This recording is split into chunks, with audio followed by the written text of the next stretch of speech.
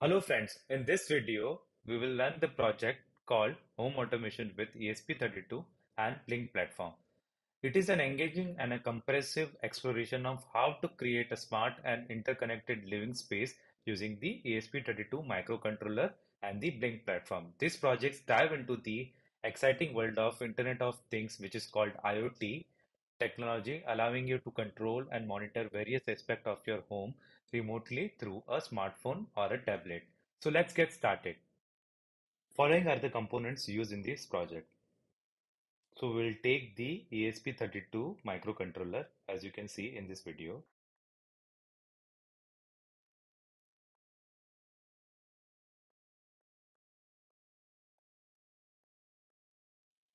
After that, we would take two channel 5 volt relay module as you can see in this video.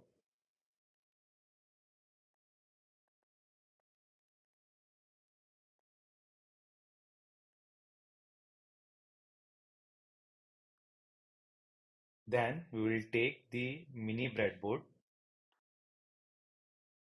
We will take the LED.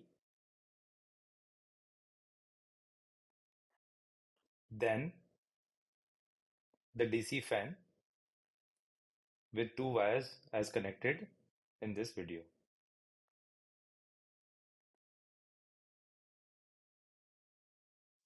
And 3.7 volt 200 milliampere battery along with the holder and a USB cable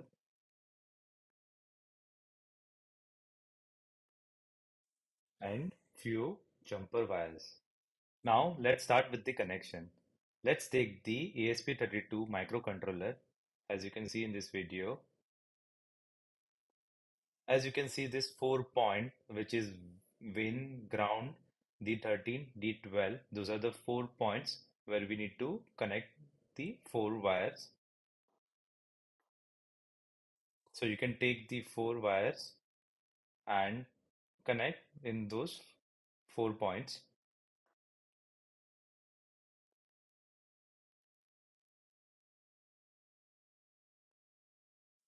as you can see in this video.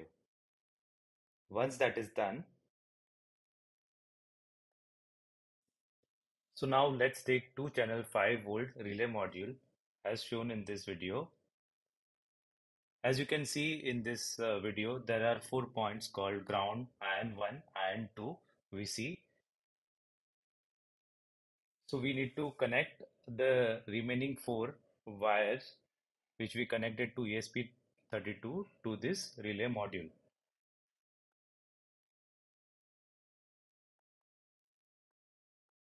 So as shown in this video, we'll make the connection in the following way. Uh, we'll take the red wire and that red wire will connect to the relay module VCC point and the other side to ESP32 win. Similarly, we'll take the brown wire, we'll connect it to the ground and uh, we'll connect to the other side to ESP232 ground. Similarly, we'll take the yellow wire, we'll connect it to IN2 relay module and we will connect to D12 to ESP32 side. And the fourth wire, uh, which is an orange, uh, we will connect to IN1 on relay module and ESP32 we will connect to D13. So this is how we'll make the connection. Now we'll take the red wire as you can see in this video and we'll connect to the second and the fifth point of the relay module as we are pointing. So this is the second point and this is the fifth point. We will insert that red wire inside both the point and with the screwdriver we will tight the screw.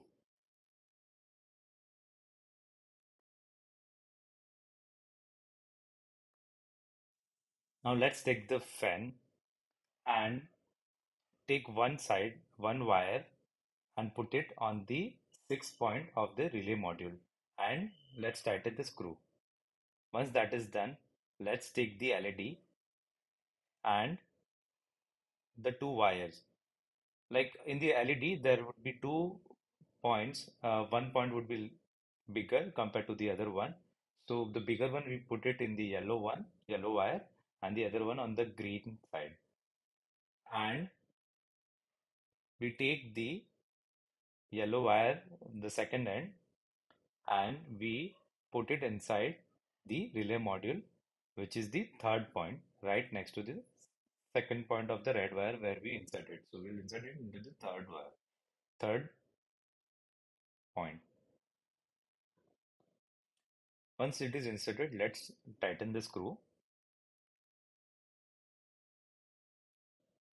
Now let's take the red wire male to male. Take one side of the red wire and insert in the fifth point where we have already inserted that red wire. Once we have inserted, we'll take the screwdriver and we'll tighten the screw. So this way we have made all the connections, but uh, now we'll take the breadboard and we'll connect fan LED and the third male wire which we have connected. So we'll take the green wire from the LED and put it on the last column of the breadboard and the fan gray wire right below the green wire. And we'll take the red wire and we'll put it as you can see in this video. After that, we'll take the battery from which the red wire will insert on the same column as you can see where we have connected the red wire. So both the red wire would be in the same column and the another point which is like a black wire in the last column where we have added gray, green and the black wire. So this is how we are done with our connection. Now we will take the USB wire and we'll insert into ESP32 and then we'll upload the code. If the connection is made properly, then you will see red light in ESP32 microcontroller. So now let's get started with uploading the code and creating account on blynk.io platform. So we'll search for the Blynk Cloud and we will go to the website. If uh, we are not registered, then we will create our account. And after creating the account, we will log in with the same credentials which we have created. Once the login is done successfully, you will see the Blynk tool if you are coming it for the first time. You can skip it and after skipping it, you will see the dashboard. So now we will click on the new device to create the new device. After clicking it, we can click on the from template. So one template is already created with quick start template. So we can select that template from the drop down which says quick start template and we can specify the device name which could be quick start template or anything which we want to read. Like in this case, we will put robocode.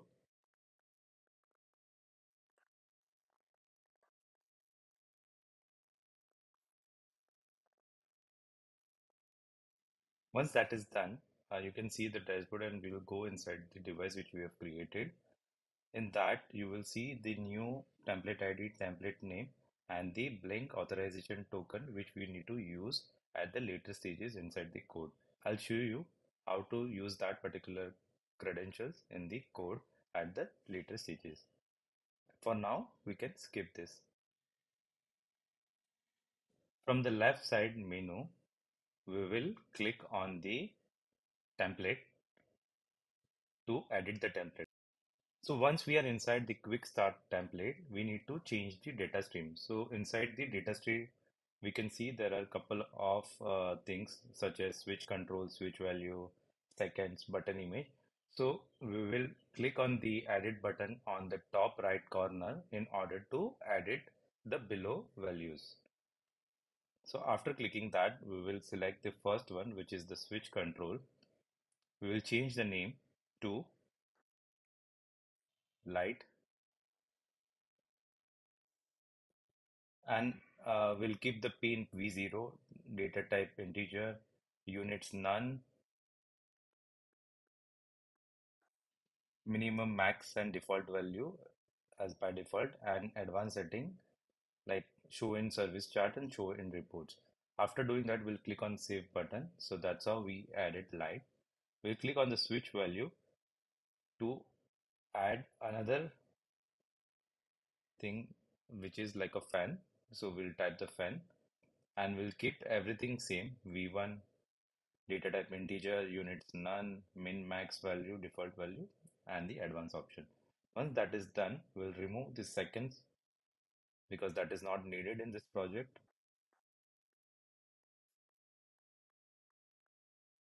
We'll also remove the button image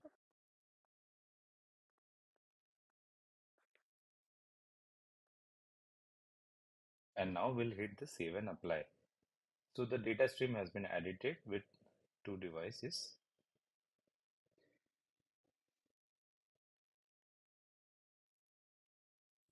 Once the template is configured on the Blynk app, we will open up the code which we have given in the link using the Arduino IDE.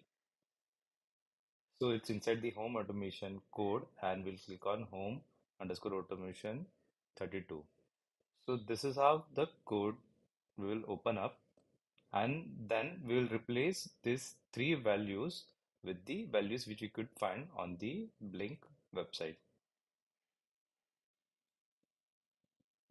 So we'll replace the first line with, with the Blynk template ID, the second line with Blynk template name, the third one Blynk authorization token, and 17 and 18 line with the SSC ID and the password, which is the Wi-Fi network ID and password. From the tools, we'll select the port COM9. So from the drop down, we'll select Do It ESP32 Dev Kit and we'll click on Select Others Board and Port.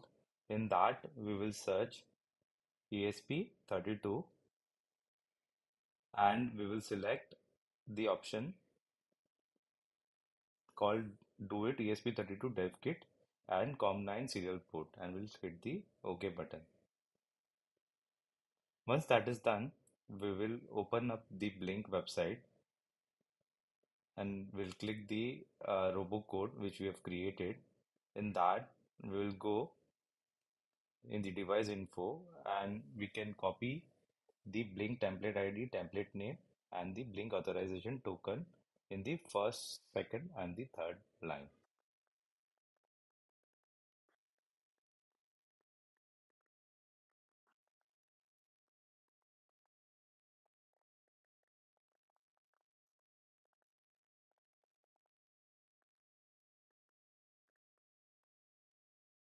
Also, we'll replace this auth array with the Blynk authorization token.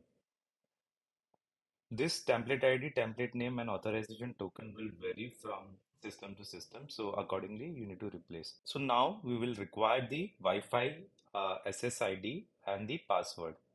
So we'll click on the Wi-Fi icon on the bottom right corner. We'll click on the properties and within the properties we'll see the SSID as name Devik. We'll, we'll pick that name. We'll copy paste and uh, we'll also enter the name of the we'll also add the password which we have set for the Wi-Fi. Once the necessary changes are done on line number 1, 2, 3 and 13 and 17 and 18, we will click the tick button which is right below the play which is right below the file. So that will compile the code and it will check for any errors if there are and it will display on the black screen where it sees the output. Once the compile is done without any error, we will click on the upload button and thus will upload the code on the ESP32. So it connects to the serial port COM9. It is connecting If the Wi-Fi information is proper, in that case, we will get a success. So it's writing on the ESP32 microcontroller.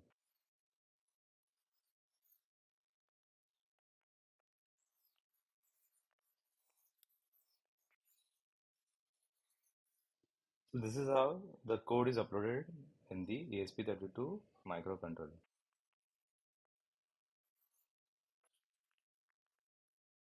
Once the template is edited, uh, we will go to our mobile app, we will go to the Play Store and we will search for the Blynk app, which is with the name Blynk IoT. After searching, we'll install the application if it is not installed. Now we will open up the Blynk app and we'll click on the login, the credentials which we have created. Using that, we will log in. So out of the two devices which we have created, we can see both the devices uh, out of which we will click the robocode. So we'll go inside the robocode and we will change the template which you can see right here. First of all, we will remove all uptime button value and off button.